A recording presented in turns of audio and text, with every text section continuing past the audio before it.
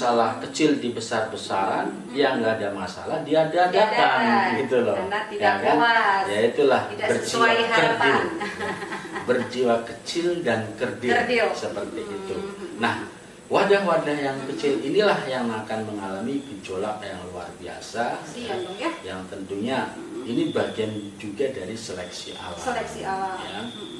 Itu Ya semoga kalau mendengar eh, tayangan Kang Raga mereka yang bergejolak ini segera sadar lah Kang Raga. Karena Ya. sekarang Insun, Insun Rahayu Balaria Waluya Asma Pangestu Hibar Pangriksa Pemirsa, jumpa lagi dengan saya Nyimas Dewi Larasati dan narasumber kita Kang Raga. Tetap sehat ya Kang Raga. sehat sehat Sehat tambah ganteng aja Kang Raga. Iya dong. Nah, Kang Raga seperti biasa ya, saya nggak mau lah Hmm. berbahasa basi. Saya maunya langsung to the point lah. To the point, ya. langsung tertuju Kang Raga ya. Siap, siap. Nah, Kang Raga eh, beberapa waktu yang lalu kan Kang Raga sudah membahas mengenai eh, kinerja leluhur gitu Kang Raga ya. Hmm. Nah, aku eh, ingin bertanya nih, saya ingin bertanya dan ingin Kang Raga itu menjelaskan lebih detail lagi. Hmm. Nah, bahwa saat ini sedang terjadi peningkatan level kinerja leluhur dari Hmm. level terendah sampai level yang lebih tinggi. Nah, itu dampak yang terjadi itu seperti apa, Kang Raga? Dan Hmm. tentunya kalau dampak ini sudah terjadi seperti apa, nah positifnya seperti apa dan negatifnya bagaimana kan seperti itu ya Kang Raga. Iya, Nah, iya. mohon dong dijelaskan Kang Raga. Iya, kemarin di tayangan sebelumnya Ah. sudah kami sebutkan Iya. bahwa kinerja leluhur Mm-mm. yang aktif saat ini Mm-mm. adalah yang terendah, Mm-mm. yang tingginya di level lurah. Iya betul. Di level lurah dan saat ini sedang ditingkatkan. Mm-mm. Ini dua kali bahkan tiga kali lipat Nah itu yang bikin ya. penasaran ya. kuat dan kekuatannya ya. Mm-mm. Jadi ini semacam upgrade ya. Upgrade ya. Upgrade kinerja energi leluhur. ya. Mm-mm. Jadi kinerja leluhur ini di-upgrade ya. Mm-mm. Dari lurah Murah, saat ini ya Mm-mm. selevel dengan bupati ya. bupati. Atau raja-raja daerah. Raja-raja daerah. Mm-mm. Raja-raja daerah ini yang Mm. mulai aktif, Aktif. berperan ya. Mm-mm. Mulai aktif berperan. Mm-mm. yang akan sedang mulai aktif berperan. ya. Nah, dibenarkan oleh cicak ya. Iya, cicak, cicak, ya, cicak. barusan, ya. Mm-mm. ya. Sedang aktif ya. Kinerja leluhur Mm-mm. ya di level raja-raja daerah. Raja-raja daerah. Karena Nusantara ini kembali apa yang kemarin disampaikan ya kan Hmm. jati diri Nusantara ini jati diri para raja, Para raja, ya kan? betul. Nah, makanya ini sedang di-upgrade kinerja Hmm. energinya. Hmm, Ya. hmm, hmm. ya dalam rangka tentunya positif Positif, tujuannya ya. Hmm. untuk bangkitnya jati diri bangsa Nusantara Mm.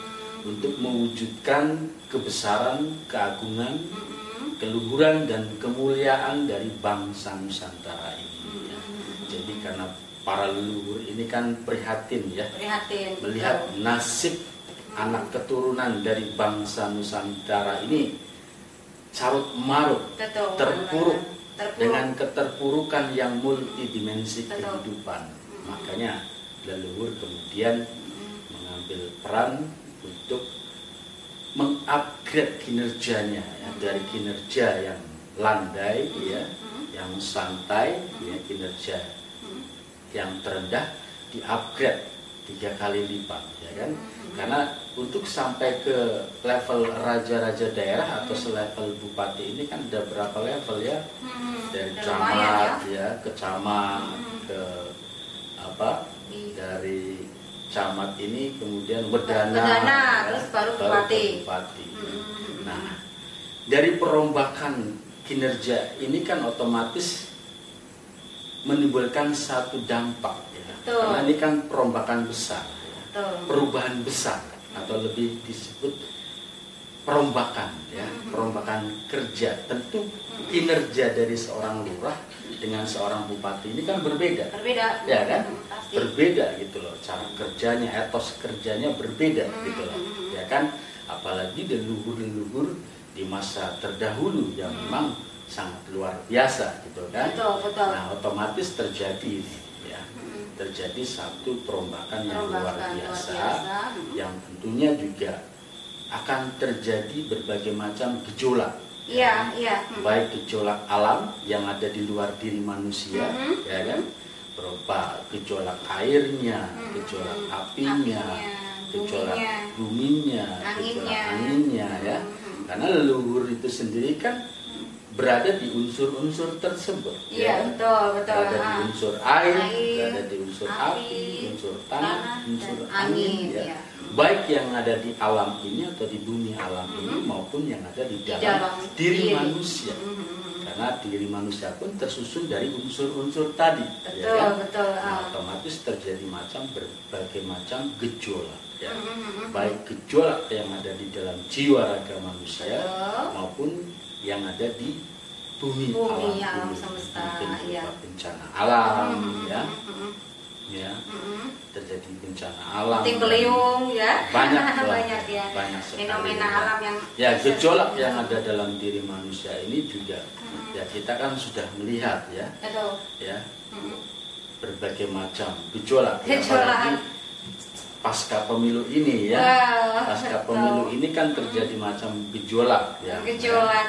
Ya, gejolak karena ketidakpuasan, Kepuasan, kekecewaan kekecewaan. ya dengan hasil, yang mungkin tidak sesuai dengan, harapan, harapannya tidak ya. sesuai dengan keinginannya ya kan, sehingga Ada. menimbulkan gejolak. Gejolak. Yang intinya sebetulnya gejolak ini adalah ya atas dasar kepentingan ya kan. kepentingan Ada banyak kepentingan di sini Betul. ya. Ada banyak kepentingan, baik kepentingan dari personal ya, maupun organisasi, ya, ya, organisasi ya, maupun kelompok gitu Kelompok, kan. ya. Banyak sekali gitu loh. Nah, itu otomatis akan terjadi berbagai macam gejolak Hmm. ya yang diakibatkan dari perombakan. tadi. perombakan tadi Ya, soalnya tujuan kan dari perombakan Nah, sekali lagi positif. positif ya kan Mhm. baik dan manfaatnya pun Manfaat. pasti sangat baik gitu kan Nah, ah. nah terjadi gejolak tentunya bagi mereka yang tidak mampu mewadahi mewadahi ya kan? Tidak karena mampu wadahnya wadah. kecil ya kan? Wadahnya kecil. Wadahnya kecil Diisi sedikit tumpah.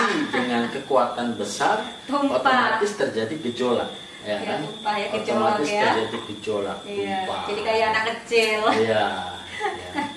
otomatis terjadi begitu ya pergesekan, ya, pergesekan. Ya, benturan, mengadakan-adakan masalah yang seharusnya Iya. damai Iya, tidak yang bisa menerima Seharusnya masalah besar itu diperkecil, ini Diperkecil. masalah kecil Diperbesar. dibesar-besaran, yang nggak ada masalah diada-adakan, Diada-adakan. ya kan? Nah, itulah Ini salah satu wadah contoh kecil, ya, wadah contoh kecil, wadah ya. kecil dampak Wadah kecil. negatif bagi manusia yang tidak mempunyai Iya. wadah besar. Yang wadahnya kecil Hanya begitu, seember ya kan? kecil, oh, nggak Iya. ada seember kali ya. Seharusnya permasalahan besar minimalnya itu Ah. diperkecil, Nah, ya kan? harusnya ya maksimalnya dihilangkan Dihilangkan. masalahnya ya Iya. kan ini enggak ya Iya. masalah kecil dibesar-besaran yang enggak ada masalah diada-adakan Diadakan. gitu loh Karena tidak ya kan puas. ya itulah tidak berjiwa kerdil berjiwa kecil dan kerdil, Kerdil. seperti Hmm. itu nah wadah-wadah yang kecil inilah yang akan mengalami gejolak yang luar biasa dong ya. yang tentunya ini bagian juga dari seleksi alam Seleksi alam. ya Mm-mm. Semoga kalau mendengar eh, tayangan Kang Raga mereka yang bergejolak ini segera sadar lah Kang Raga kan Ya, banyak. sadar. Betul. Nah, ya Kang Raga kan sudah dijelaskan mengenai dampak positif dan negatifnya. Mhm. Lalu bagaimana cara menanggulangi? Kan kasihan nih Kang Raga kalau Iya. nggak ada solusi cara menanggulangi kita cuma ngomong aja yang positif negatifnya, tapi untuk masalah menanggulanginya nggak ada. Gimana? Iya. Penanggulangannya tentunya ya kita harus berpikir positif pertama ya kan? Kemarin kita udah sampaikan berpikir besar ya kan? Berpikir besar jadi dengan memikirkan hal-hal besar jangan hal-hal yang kecil ya kan? Ya karena ketidakpuasan karena kecewaan sendiri ya kan? Kemudian dibesar-besaran ya menjadi gejolak ya kan? Itu tadi. Jadi